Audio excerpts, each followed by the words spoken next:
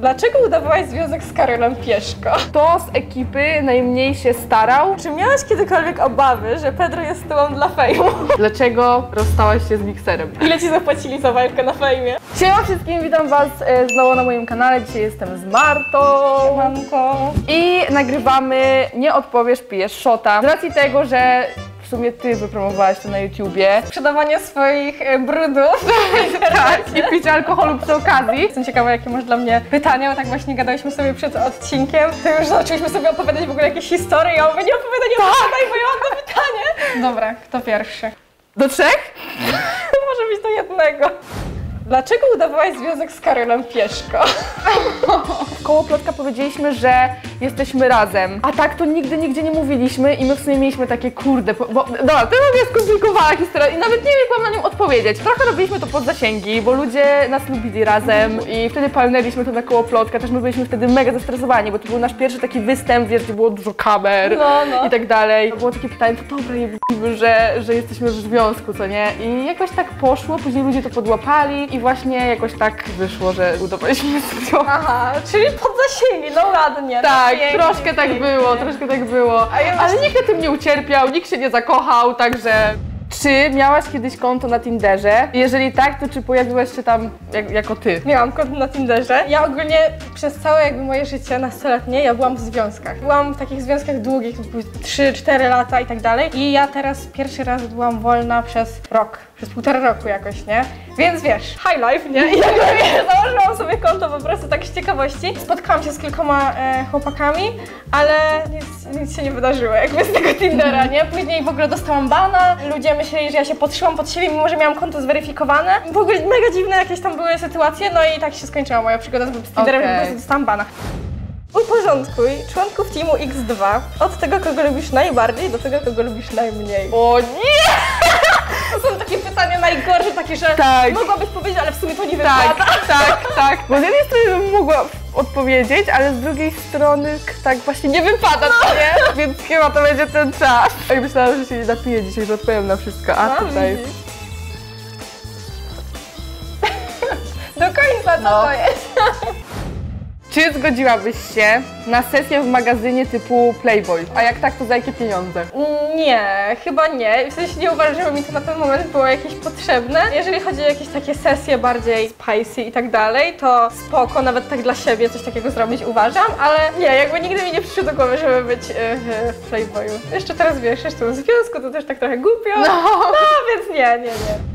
Co szczerze sądzisz o Natsword i czy uważasz, że przebiją obecny Team X? Wydaje mi się, że tak. Że przebiją? Że przebiją, no. Mi się wydaje, że już trochę przebili. No oni chyba teraz mają e, już chyba większe wyświetlenia. Tak, no. Czy ktoś ją lubi, czy nie, u nas jest zajebiste to, że ona jest mega ambitna, że ona No. jakby wie, gdzie w danym momencie ma być. Nawet nie, że się zakręcić, bo ona No sama tak, sobie tak, spracuje tak. na swój sukces, ale jakby wie, gdzie, co ma zrobić w danym momencie, żeby być na topie, nie? Mhm. I u niej to jest mega fajne ona jest mega ambitna i ja jej jakby kibicuję bardzo.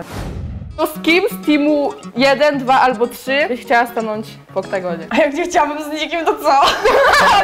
A jakbyś musiała wybrać? Ogólnie kiedyś mówiłam, że nie, że nigdy, że jakby jestem antysportowa totalnie, ale jakoś tak z biegiem czasu, jak zauważyłam, że coraz więcej influencerów tam idzie, nie? Jakby nie są tam tylko profesjonaliści czy jacyś sportowcy, tylko idą, no na przykład no, takie babki po prostu y, zwykłe, które nigdy nie miały jakiejś super styczności ze sportem, no to sobie tak pomyślałam, że kurde, zajebista przygoda i fajnie byłoby coś takiego przeżyć. No ja sama teraz zaczęłam chodzić sobie na treningi, ale tak bardziej dla siebie, nie, nie mam w planach na razie żadnej walki, ale nie mówię nie, bo może się kiedyś coś takiego wydarzy, nie? W sensie y, jestem ciekawa, jakie to jest uczucie, jak się właśnie wychodzi tego oktagonu i no fajne po prostu, nie? Tak, a ludzie, przygoda. ludzie pewnie nie wiedzą i nie wiem, czy ty wiesz, ale chyba ci to mówiłam, że proponowali mi ciebie. Gadaliśmy, no tak, tak, tak, no. Ja y, jakbym miała na przykład się widzieć jeszcze w kimś tego, nie to fajnie w ogóle, to się nie, że się nie lubimy, No, no, no. ale prostu jakbym miała pomyśleć, z kim bym jeszcze mogła zawalczyć, chociaż wiem, że już raczej nie zawalczę, ale jakbym miała tak, z kim bym mogła jeszcze, to tak wydaje mi się, że ty byś była fajną przeciwniczką. Kurde, ja bym się nie chciała na przykład z tobą bić, bo ja mam coś takiego, że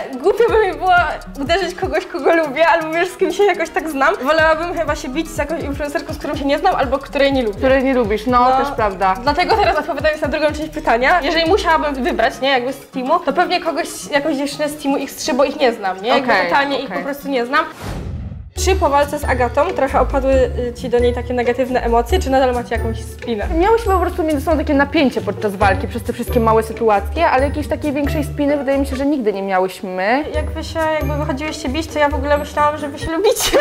Bo my się kiedyś sobie trochę kolegowałyśmy, ale nie mam teraz do niej takich negatywnych emocji. Bardziej mam coś takiego, że wiesz, jak się skończyła ta walka, bo jakby w trakcie tych wszystkich przygotowań, no to musiałyśmy trochę o sobie myśleć, wiesz, spotykałyśmy się na konferencjach i tak dalej, a w tym momencie, wiesz, jakby już nie mam z nią styczności i nie chcę mieć i po prostu ona sobie żyje teraz swoim życiem, ja sobie robię swoje rzeczy i jakby już jest taka czysta atmosfera pomiędzy nami, Okej. w sensie nie, nie mam Czyli tak nic- bez po prostu emocji. Tak, tak, tak, no. Okej. Kto z ekipy najmniej się starał, jeżeli chodzi o jakby cały wasz proces, wiesz, y, pracowanie nad kanałami i jak nagrywaliście razem i tak dalej? No to się... Głupio mi tak jakby oceniać, bo każdy uważam, że się starał yy, na tyle, ile mógł. W sumie mogę odpowiedzieć, nie, nie, nie, nie odpowiem. Nie, bo będzie niemiła. Nie, nie chcę, żeby komuś było niemiło. No, ja też tak mam, jak są jakieś pytania o team, to mówię, kurde. Ile ci zapłacili za walkę na fejmie? No mogę powiedzieć, bo ja tam... Serio? No. Ja, ja to pisałam jako taki pewniak, że tak? już po prostu jest takie jakby przeświadczenie, że się niby o pieniądzach No właśnie wiem, ale ja tak dalej. sumie mam z tym luz, szczerze mówiąc. Ogólnie mój kontrakt był jednym z większych kontraktów. bo Akurat w takim okresie dobrym go negocjowałam. No, jest to trochę mniej niż milion. Wow! Opłaca się bić. Jakbyś miała iść się bić, to za jaką kwotę? Mam po prostu w głowie kwotę, za którą chciałabym iść się bić i wiem jakby, że mniej nie chciałabym e, dostać, że za mniej bym nie poszła, ale nie wiem, czy chcę, czy chcę to mówić. No to no, chyba, chyba nie powiem, chyba, chyba nie powiem, no. Czy chciałabyś zrobić sobie jakąś operację plastyczną? Jeżeli tak, to jaką? Ja od zawsze chciałam zrobić operację nosa. To jest taki mój kompleks, odkąd byłam, może nie bardzo mała, ale już w tym okresie, kiedy już się zaczęło pa- zwracać uwagę na swój wygląd i tak dalej. Ja mam w ogóle nos po moim tacie. Ja I też, tak, też! Rodzina ze strony mojego taty ma takie nosy po prostu. to samo i też krzywe, długie. Tak! I ja bym chciała strasznie zrobić operację nosa i zrobię to jak naj, w sensie w najbliższym czasie, wydaje mi się, chciałabym to zrobić, tylko też terminy u najlepszych tych specjalistów No. są bardzo odległe, więc pewnie troszkę poczekam. Wydaje mi się, że tak za rok, dwa zrobię, ale na pewno zrobię. No i jeszcze myślałam gdzieś tam w międzyczasie o operacji cycków, ale bardzo lubię swoje cycki, bo nie są za duże, ale wtedy nie są też obwisłe i są No. takie do topów, bez stanika i tak dalej idealne, także mój chłopak też mi nie pozwala, bo mówi, że mu się takie podobają. Czy kiedykolwiek czułaś się zepchnięta na drugi plan przez inne dziewczyny z ekipy? U nas to było tak, że jakby my się zawsze tak kolegowałyśmy wszystkie ze sobą. Raz ja się na przykład kolegowałam bardziej z Kasią, później miałam okres, że się kolegowałam bardziej z Werą. Teraz mam na przykład tak, że się najbardziej trzymam z Marcysią. Nie, nie czułam się nigdy tak, żeby mnie jakoś tam odsuwały albo nie wiem, żebym była na drugim planie, więc no nie. Dobra, mam pytanie teraz trochę głupio mi zadać, bo jest o tobie. Czy miałaś kiedykolwiek obawy, że Pedro jest z tobą dla fejmu?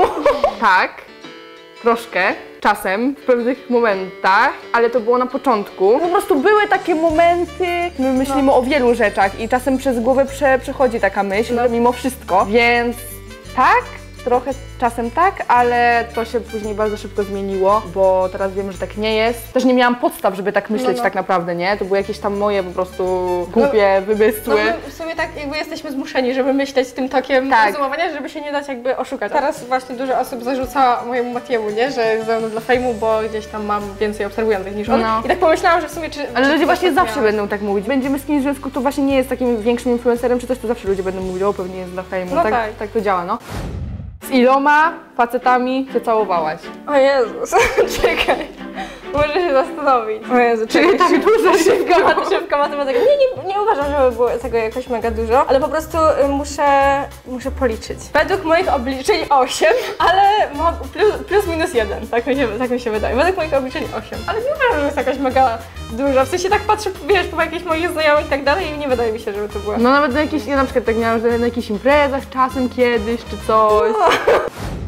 Czemu tak naprawdę poszłaś na ten mukbang do Maszy i czy to prawda, że jej wcześniej nie lubiłaś? Bo takie gdzieś tam były pogłoski, że tam ci ludzie coś zarzucali, że najpierw jej nie lubiłaś, później do niej poszłaś. To jest mega dziwne, bo coś tam Agata mówiła, że właśnie my się nie lubiłyśmy, a teraz y, fajnie, że zespatała dwie osoby, które się kiedyś nie lubiły. A to nieprawda, bo ja się z Maszą tak naprawdę prawie w ogóle nie znałam. Myśmy się z Maszą widziały, ja mogę policzyć na, u jednej ręki, ile się razy widziałyśmy. I to było, wiesz, że gadałyśmy chwilę i tak naprawdę ja mogłam wywnioskować coś z tego. Agata mi na przykład opowiadała o niej, jak ona się zachowuje na przykład na, na filmikach czy coś, a tak to, tak jak mówię, no nie znałam jej za bardzo, więc ciężko stwierdzić, czy kogoś lubisz, czy nie, jak go nie znasz. A druga część pytania, czy specjalnie poszłam na, na mukbang, to było tak, że Masza do mnie odpowiedziała mi na relację, nie pamiętam jaką, ale to właśnie było przed, przed walką. No i później jakoś tak zaproponowała mi, czy chce wziąć udział w jej mukbangu, mukbangu, mukbangu się to mówisz, bo ona tam sobie nagrywać mukbangi, ja o tym wiedziałam, bo czasem sobie tam oglądałam, bo ona bardzo fajnie to sobie nagrywa. I stwierdziłam, że czemu nie? Na pewno w głowie gdzieś tam z tyłu głowy było, że okej, teraz walczę z Agatą, one się nie lubią, okej, ale to nie było tak, że tylko i wyłącznie dlatego. I na przykład ja do niej napisałam, żeby specjalnie zrobić na złość Agacie, po prostu przypadkiem tak wyszło i, i tyle. Kurde, no ja mi się wydaje, że ty się już napijesz z moich pytań, bo tak patrzę, że one są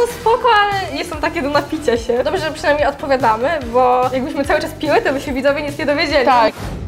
Czy członków ekipy łączy przyjaźń czy biznes? Wydaje mi się, że przyjaźń i znajomości, ale biznes jest gdzieś tam dodatkowo. Jakby od początku to było tak, że my się znaliśmy długo. Na początku właśnie był e, tam Karol, Trombo, Mike i Łukasz, ale ciekawostka, ja znam Karola w ogóle najdłużej ze wszystkich. Tak po prostu jakby wiesz, była taka sympatia i zaczęli tam chłopaki razem nagrywać, później my się wprowadziliśmy i jakoś to tak poszło, nie? To, że się zrobiło to takie wielkie, to myślę, że nikt się nie spodziewał, że to aż na taką skalę wybuchnie, więc wiadomo, że teraz gdzieś tam są też jakieś tam powiązanie biznesowe, tam mamy i spółkę, jakieś różne e, projekty, ale e, jednak te znajomości u nas były gdzieś tam na pierwszym miejscu zawsze i relacje i też wydaje mi się, że dlatego ludzie tak nas Chciałam to powiedzieć, nie? że właśnie tak mi się wydaje, że dlatego wam to tak dobrze poszło, bo jednak e, się przyjaźniliście.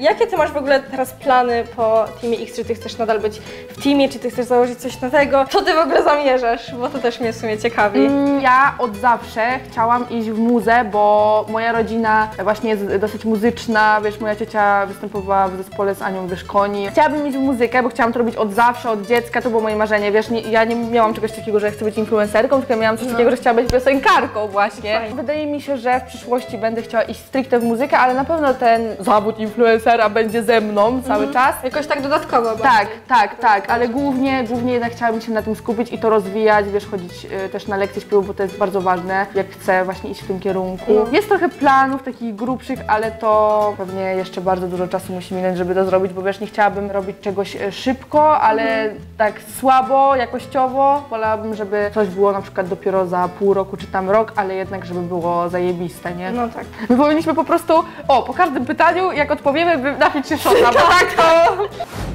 Czy po waszym związku miałaś z mikserem jakiś kontakt? Tak. No miałam. Nie no, to było ciężkie, żeby nie mieć, nie mieć kontaktu, bo jak my zerwaliśmy, my zerwaliśmy zaraz po Stanach, nie? W zasadzie to na drugi dzień jak wróciliśmy do Polski, to jakby nasz związek się skończył. No i my jeszcze musieliśmy przez dwa miesiące mieszkać ze sobą w jednym pokoju, Okej. nie? My tam jeszcze w ogóle mieliśmy kwarantannę, bo ja chciałam wyjechać do rodziców od razu, no ale mieliśmy tą kwarantannę tą przymusową przez dwa tygodnie. Przesiedziałam w tym domu, starałam się zająć wszystkim innym, tylko żeby wiesz, nie siedzieć w pokoju i tak dalej. No tak w zasadzie mieszkaliśmy razem jeszcze przez miesiąc, więc trudno było nie mieć tego kontaktu. Staraliśmy się sobie nie uprzykrzać życia, żeby chodziło te różne czasy. Okej. No i później po wyprowadzce stricte nie miałam z nim kontaktu przez jakiś czas. Później mieliśmy mm, tam okres, że streamowaliśmy na Twitchu, no to on też przyjeżdżał na jakieś streamy, więc też wtedy ten kontakt jakoś się odnowił. No więc mieliśmy ten, ten kontakt jeszcze przez, przez, przez jakiś czas, ale później on się jakoś tak urwał. Jeszcze, nie wiem, kilka miesięcy temu e, on tam gdzieś wziął mnie do, do swojego odcinka, ale na przykład teraz już w ogóle nie, nie, nie utrzymujemy kontaktu, w sensie nie mamy żadnych, żadnej spiny, ani nic takiego, tylko no tak jakoś się urwało, wiesz. A wy długo byliście w sumie No cztery lata byliśmy razem, no. Zerwaliśmy w rocznicę. Serio? O, Tak.